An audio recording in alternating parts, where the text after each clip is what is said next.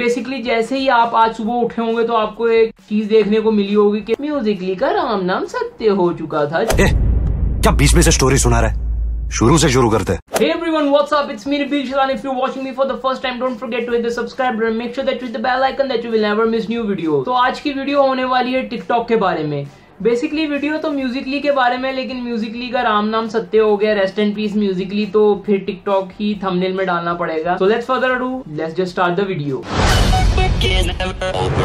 तो बेसिकली जैसे ही आप आज सुबह उठे होंगे तो आपको एक चीज़ देखने को मिली होगी कि Musically has a new name called TikTok तो मैंने भी यही देखा तो मैंने फ़ौरन अपना प्ले स्टोर खोला, क्योंकि मैं एंड्रॉइड यूज़र हूँ। जैसा कि मैंने बोला है कि गरीब यूट्यूबर है, हम टीनी टाइनी यूट्यूबर है। हमारे पास आईफोन खरीदने के पैसे नहीं है। हमारे पास तो कैमरा खरीदने के भी पैसे नहीं है। अपने फ़ोन से रिकॉर्ड करता हूँ। मैंने सोचा था मैं अपनी मोबाइल की स्क्रीन रिकॉर्ड करके साथ साथ दिखाऊँगा कि मैंने क्या क्या किया है, लेकिन कहाँ करूँ यार? तो बता ही देता हूँ, ऐसे समझ लेना।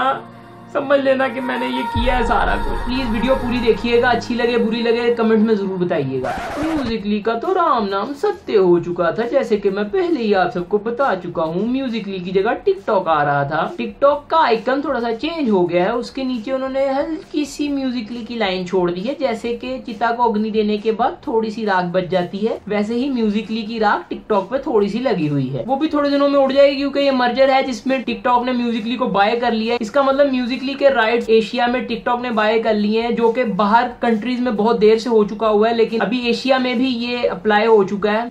ऑलमोस्ट एक साल से म्यूजिकली के गलियारों में ये बातें चल रही थी कि टिकटॉक को म्यूजिकली ने बाय कर लिया हुआ है, लेकिन उसका पूरा अप्लाई होने में टाइम लगता है। यही होता है जब बड़ी कंपनी मर्ज होती है एक दूसरे में तो टाइम लगता है। जैसे कि अभी फॉक्स को डिज्नी ने बाय कर लिया है ऑफिशियल न्यूज़ है बाय हो चुका है डिज्नी फॉक्स के लिए। ये ऑफिशियल न्यूज़ है डिज्नी ने फॉक्स को बाय कर लिया हुआ है। कॉमकास्ट ने बहुत पाँव उड़ाने की कोशिश की, लेकिन फिर भी डिज्नी ने फॉक्स को बाय कर लिया है। इसका मतलब अगले साल के एंड तक, इसका मतलब जब स्पाइडरमैन होमकमिंग रिलीज़ होगी, तब पूरे राइट्स उनके पास आ चुके होंगे। यही है कि टाइम लगता है प्रोसेस होने को, चीज़ों को प्रोसेस होने में। जैसे कि डिज्नी ने फॉक्स के राइट यूनाइटेड स्टेट में पूरे के पूरे हासिल कर लिए। वैसे ही अब फॉक्स के राइट उनको पूरी वर्ल्ड वाइड कंट्रीज़ में जहाँ जहाँ फॉक्स ऑपरेट करती है, वहाँ वहाँ आप उनको, उनके राइट्स अपने अंडर करने होंगे, यानी कि पेपर वर्क होगा, यानी कि इंडिया जहाँ पे फॉक्स फॉक्स स्टूडियो है, इसी तरह जिस जिस कंट्री में फॉक्स वर्क करती है, वहाँ वहाँ उनके राइट्स अब डिज्नी के पास आएँगे तो उसमें टाइम लगता है, एक साल लग जाएगा। अगले साल जब स्पाइडरमैन होम कमिंग आएगी तो उस टाइम तक फॉक्स के राइट सारे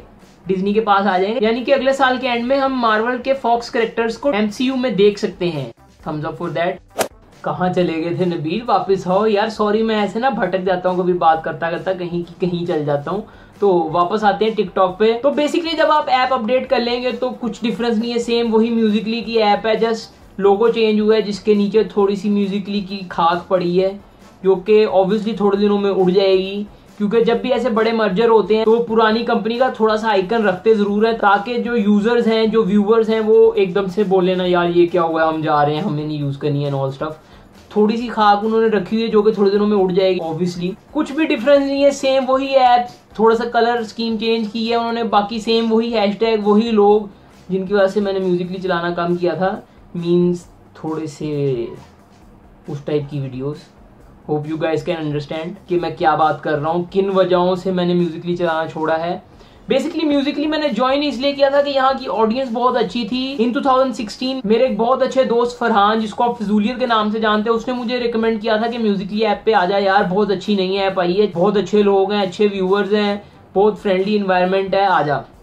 मैंने ज्वाइन की, बहुत अच्छा एनवायरनमेंट था, बहुत ही हैपनिंग लोग थे। एंड ऑब्वियसली वो लोग जिनको मैं उस टाइम में मिला था, वो वाकई बहुत अच्छे और जेनवन लोग थे और वो अभी तक हैं। लेकिन अब जो नए क्रिएटर्स आ रहे हैं, मैं सबकी बात नहीं कर रहा हूँ, मैं कुछ रैंडम क्रिएटर्स की बात कर रहा हूँ, जिन्होंने बहुत ही फहाशी फैलाई हुई है। Hope you guys can understand मैं क्या बोलना चाह रहा हूँ।